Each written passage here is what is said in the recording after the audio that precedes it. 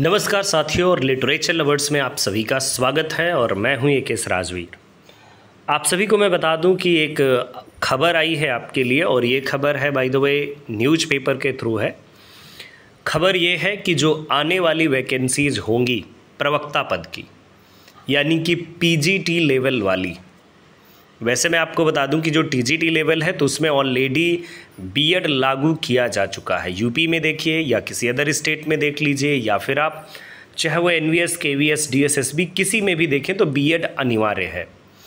और अब रही बात की पीजीटी वाले एग्ज़ाम में। तो जैसे पीजीटी वाला जो एग्ज़ाम होता रहा है यूपी पीजीटी का हो या फिर राजकीय इंटर कॉलेजों के लिए हो, यानी कि जो जीआईसी के लिए होता था तो उसमें बीएड की अनिवार्यता अभी तक नहीं थी, लेकिन अब बीएड की अनिवार्यता को हरी झंडी मिलने वाली है।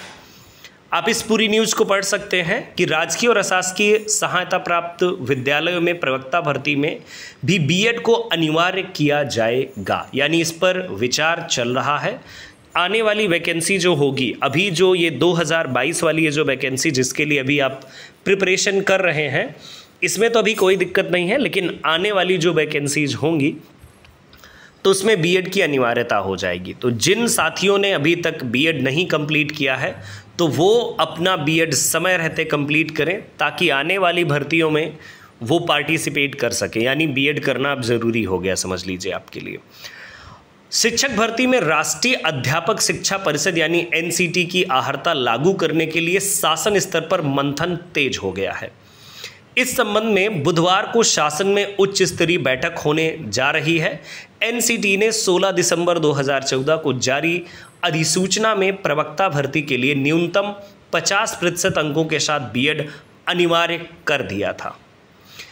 केंद्रीय विद्यालय में भी पीजीटी प्रवक्ता भर्ती में बीएड आहर्ता अनिवार्य है, लेकिन एनसीटी की अधिसूचना जारी होने के तकरीबन आठ साल बाद, यानी कि 2014 से आज आप देख रहे हैं 2022 सो so, आप देख रहे हैं कि आठ साल बाद भी यूपी में उत्तर प्रदेश लोक सेवा आयोग की ओर से की जाने वाली राजकीय विद्यालयों में प्रवक्ता की भर्ती और उत्तर प्रदेश माध्यमिक शिक्षा सेवा चयन बोर्ड की यानी कि जो ये यूपी टीजीटी और पीजीटी होता है चयन बोर्ड की तरफ़ से सहायता प्राप्त माध्यमिक विद्यालयों में भी प्रवक्ता यानी पीजीटी भर्ती में बीएड की अनिवार्यता नहीं है।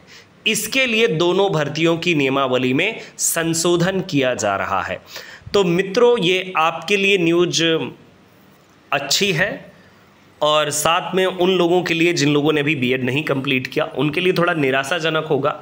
तो ये मैं उम्मीद करता हूँ कि आप लोग अपना बीएड अब पूरा कीजिए। ये बात पहले भी मैं कई बार कह चुका था कि आगे बीएड आना अनिवार्य हो जाएगा क्योंकि नई शिक्षा नीति है वो लागू हो रही है और साथ में यूपी ही एक ऐसा स्टेट बचा था जहाँ पर आपको पीजीटी परीक्षा देने के लिए ये आ, कुल मिलाकर के पीजीटी परीक्षा देने के लिए आपको बीएड अनिवार्य नहीं था। लेकिन अब ये मानिए कि बीएड पीजीटी परीक्षा के लिए बीएड अनिवार्य हो जाएगा। तो अगर आप अपनी आने वाली इस पीजीटी की तैयारी कर रहे हैं तो ज़ोर लगा लीजिए क्योंकि अगला चांस नहीं मिल पाएगा।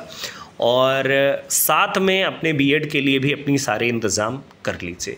तो ये सूचना मुझे आप तक पहुंचानी थी। बहुत बहुत धन्यवाद आप सभी का और सभी विद्यार्थी अपनी अपनी तैयारी में लगे रहिए क्योंकि उचित समय आने पर आपको एक अच्छा परफॉर्मेंस देना है।